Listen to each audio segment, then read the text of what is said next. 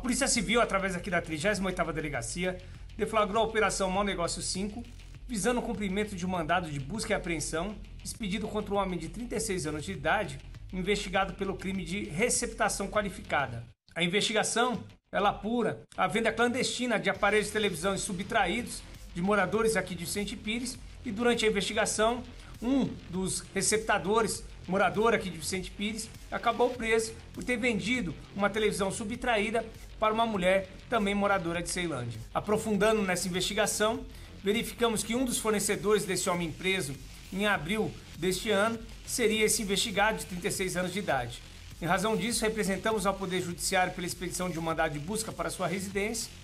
e a ação, após o deferimento da medida cautelar, é, a ação foi realizada e foi cumprida na data de ontem. Na busca realizada na residência do autor, nós encontramos 93 aparelhos de televisão e 200 placas de televisão. Indagada a respeito de tais objetos, o homem disse que atua com a compra, venda e conserto de tais aparelhos e agora estão sendo analisados os números de série dos aparelhos para ver se algum desses aparelhos eletrônicos é, são objetos de crimes de furto, roubo ou mesmo de estelionato. Para a repressão de crimes dessa natureza, a Polícia Civil orienta as vítimas que, quando do registro da respectiva é, ocorrência policial, informe ao agente responsável é o número de série do aparelho subtraído. Normalmente esse número de série ele se encontra atrás do aparelho, né, que já não está mais em poder da vítima, mas também ele se encontra na nota fiscal do equipamento eletrônico adquirido.